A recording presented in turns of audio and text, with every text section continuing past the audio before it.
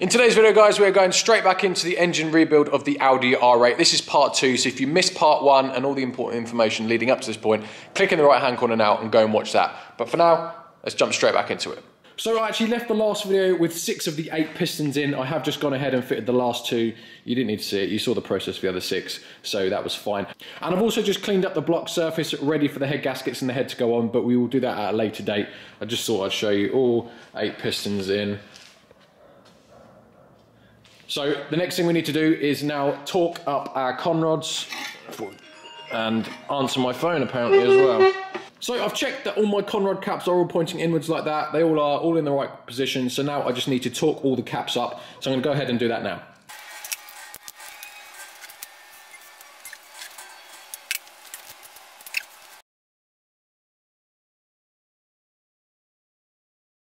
Right, so that's all my conrod caps um, torqued up now, and you can see I've just marked each one just to know they are torqued and angled. So now I'm just going to turn the engine over one last time just to double check, make sure we've got nice smooth, all torqued. Cool, looking good. Right, let's get the old uh, baffle plate on.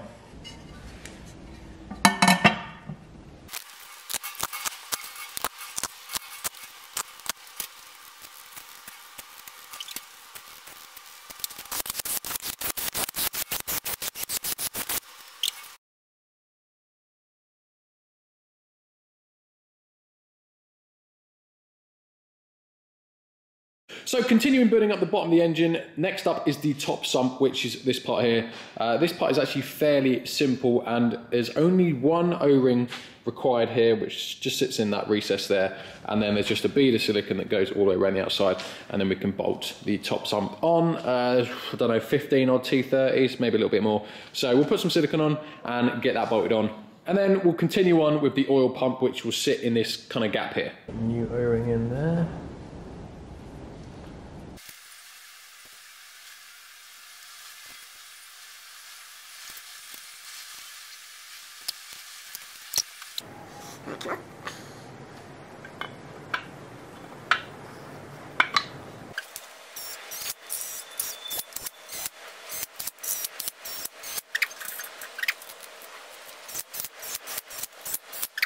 Right now the upper sump is on, we need to get the oil pump in. So this is literally just gonna sit in three bolts and we have our all important oil pump drive, which I shall install through the timing case uh, cover.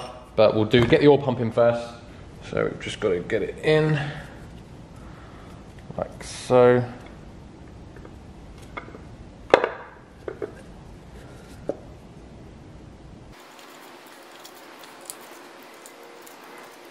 Just get it. There we go. Right, so that is now fed into the gears and it's just sat there ready for the timing chain to go back together.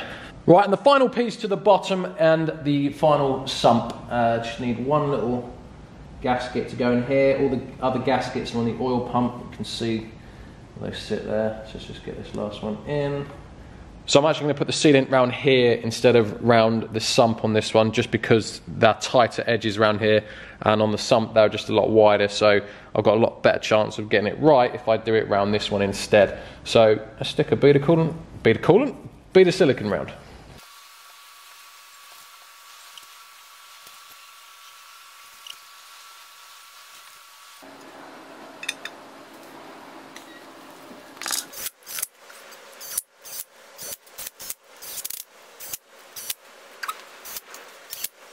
So the sump on, that is now the bottom of the engine all done. So now what we've got to do is just spin it around and we'll get those heads on and yeah, let's unwrap them and take a look at them because I haven't actually seen them myself. I have left them wrapped up. Start with head numero uno. Oh, just look how good the skimmed head looks. Literally like a mirror. All the valves look beautiful as well, look. Look at that. Right, let's just have a look at the rest. So the valves have all been completely removed, new valve stem seals, um, and they've all just been completely decoked of any carbon. I don't think they've been, they might have been relapped in, I can't remember. So if you just have a look at the back of the valves look in there. Beautiful. So yeah, effectively they've been carbon cleaned. So they're all absolutely perfect. So what we'll do now is just, we'll start with this head since I got it out first and we'll place this onto the block. I've just given the sump a little bit of a clean up because it was looking absolutely disgusting. So it looks a bit better now. So let's now just spin around this.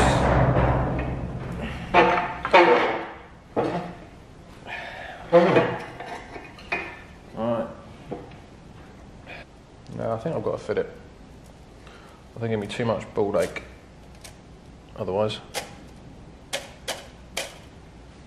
Yeah, so it's a toss up whether it would be easier to fit the head first or the timing chain cover first. But ultimately, I've got no way of really picking the engine up without the heads on because they've got the bracket so I can lift it up with the engine crane. Uh, so yeah, it's just going to be easier to get the head on first, and also the timing chain. It's not too bad because this is a gasket. So there's no sealant involved here, so I won't be because obviously you're going to have sealant across here. It won't be too bad actually. So yeah, we'll get the heads on first, and then we'll get the times uh, chains built up.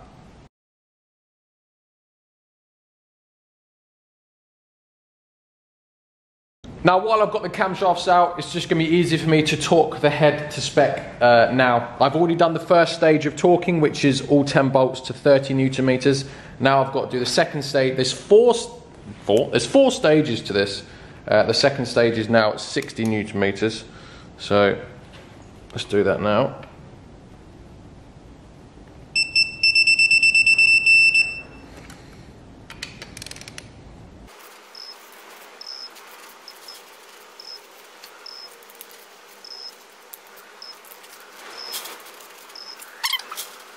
So now I've got to go over them all again and do 90 degrees and then again 90 degrees. So I'll skip ahead and do that bit.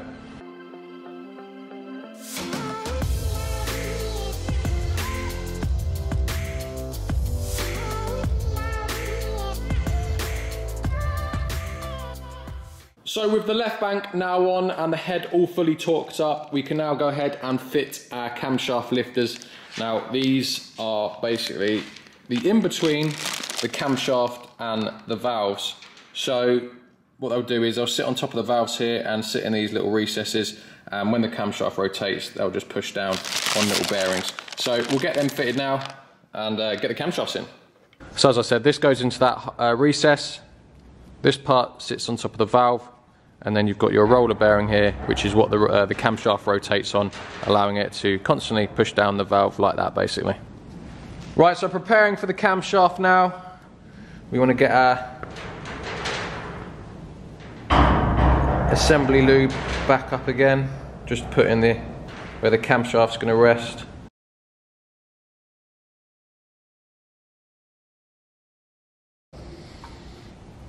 Like so. I think we might have to change because obviously all the valves are up at the minute, so I think we need to find it so it sits down, which is probably about there.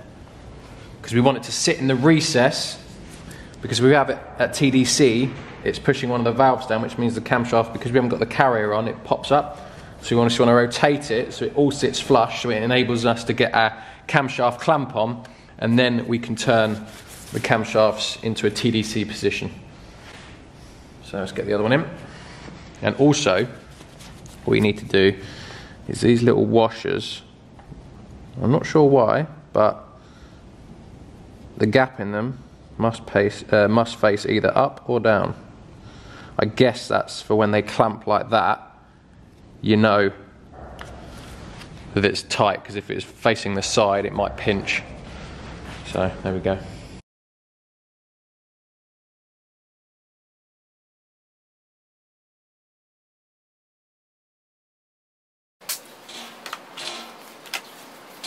And that's the uh, carrier all cleaned up. I mean, it's not perfect, but it's not far off to be fair. The underside looks very clean.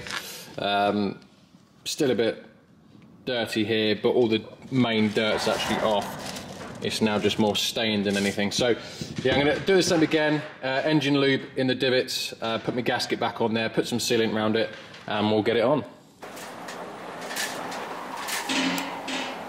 Right, and there's two locking pins you're meant to use uh, to centralize the clamp, but I don't have them. But two 8mm bolts do exactly the same job.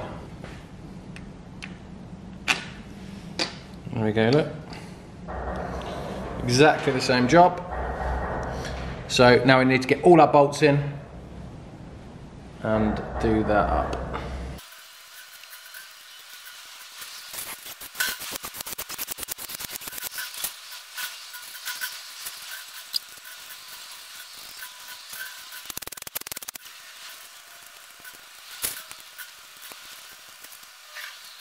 Now we've just got to put end cap plastic bungs into the end of the camshaft and to do this I'm actually going to put some silicone, just run it along the inside.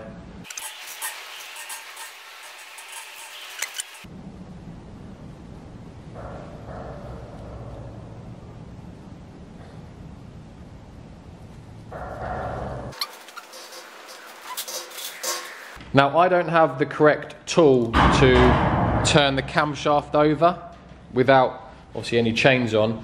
Um, so I've just put a load of buffers in between the bolt.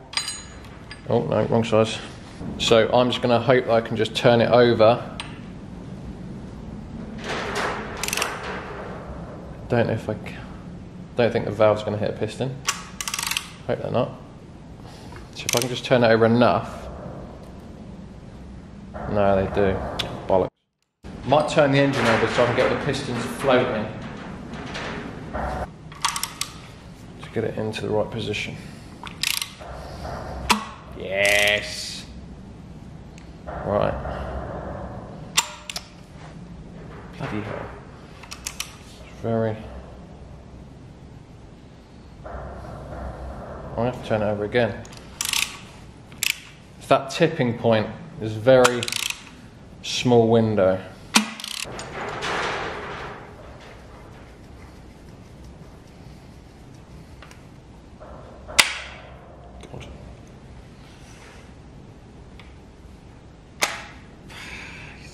Right, I think I now might be able to get a spanner. Use a spanner to bring it back a little bit now.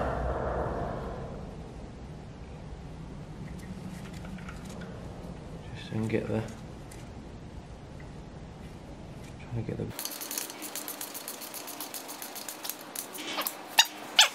So we have the right hand side all now fully built up apart from the rocker cover, but obviously we can't put that on until we've uh, timed the engine up because none of our chains are on. So yeah, once all the chains are on, then we can put the rocker cover on. So that is the state it's gonna be left in for now. So now I'm gonna crack on with the right hand side. I have taken the engine slightly off TDC at the bottom, just so the pistons aren't at the top so we can rotate the camshafts again. So I just need to remember to turn that back about 20 degrees. So I'm gonna stick on the time lapse now. I'm gonna build up the right, left hand side to match where we're at with the left, oh, right, blah, I don't know, left or right, either one.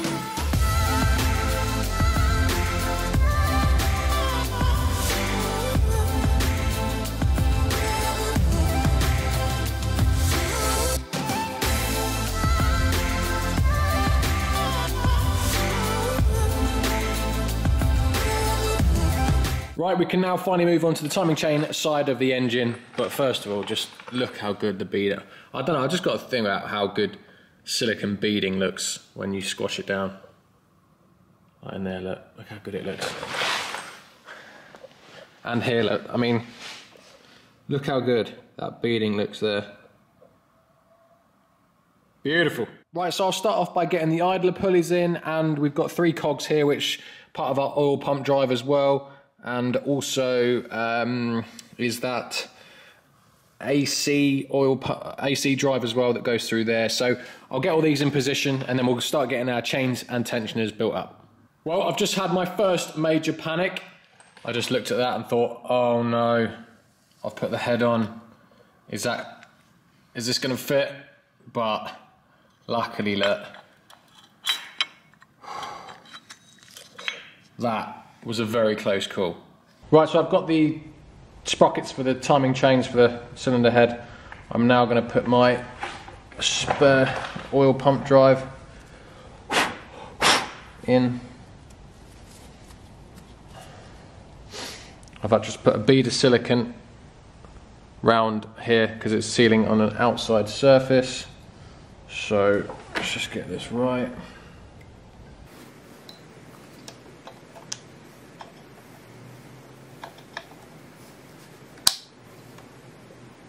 So that's my spur gear all fitted and torqued up. You can hear the oil pump drive nicely in. Now we move on to the rest of the timing chains and tensions that I've got in the boxes here. Um, we've got two of these, one for each head. This is the main uh, tensioner for the head. That sits behind there, including the gaskets as well. We've got a couple of guides here and another guide there as well for the main uh, frame there. And then we've got a few more tensioners and uh, yeah, another tensioner in there. So, Uh, and all the chains. So I need to work out what chains go where and also the tensioners. So this was a bit of a faff because I had two chains which are nearly the same length, so I had to work out which one went where. And the trouble is with this, the sprockets cannot go on first. You have to put them on with the chain, otherwise they just will not fit under the head there. And that was a bit that was a pain in the ass. But eventually, once I got through that, they all went on fine. And the good thing about these two chains for the main chain there and the one that goes around the oil pump drive is they don't need to be timed or anything. They are just a link chain, and the oil pump is just a drive. It doesn't need to be uh, timed up or anything. So they were really easy to do, and you you can just pull the uh, pin for the tensioners and they are done straight away.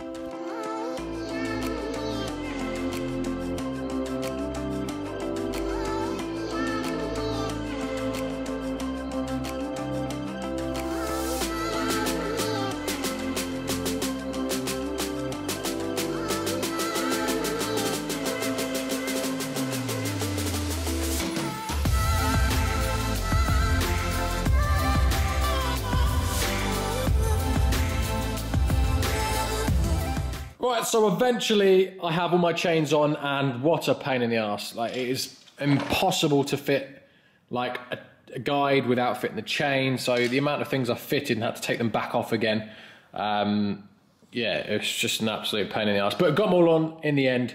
Um, I have already taught or taken the pins out, the tensioners for the spur drive, the oil pump drive, and the other chain at the back here, which all that actually does is just connect both heads to the crank. So they don't need to be timed. You can just pull the pins out on those. Um, uh, what we got here. So actually, I don't need to time anything at the top here at the minute either because I've already locked my camshafts in TDC. My crank's already in TDC as well. So I'm at the point where I can just pull these pins out.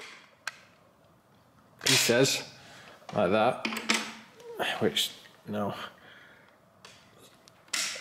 Right, so that is all the chain tensioners now done.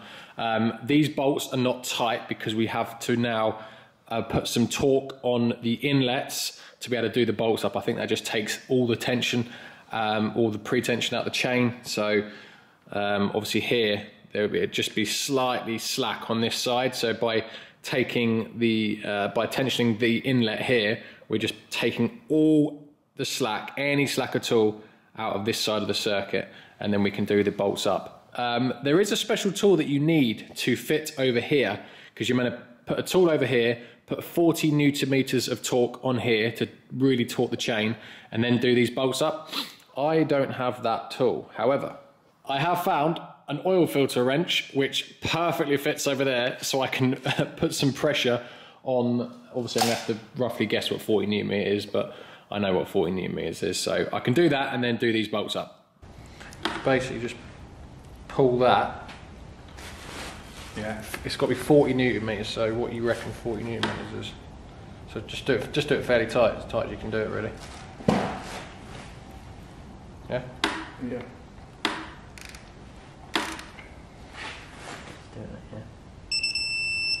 Hold it, hold it.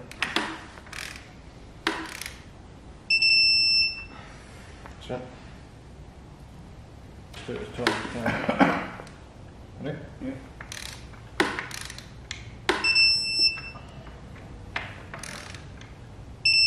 That's it. That's it. Thank you very much. Right, that should be the engine now timed up. Obviously, the uh, camshaft bolts we've got to do up tighter, but 60 newton meters is what they're at, and that just holds them there while we can turn the engine over and check the timing. So, fingers crossed, it's all good because I remember the RS4, I had a lot of issues with the timing with one of the banks. They kept turning back, and I can't remember the outcome for it, but it's just done a similar thing on this one as well. So I, I need to try and remember what the problem was there. Anyway, let's turn it over and see if we're timed up.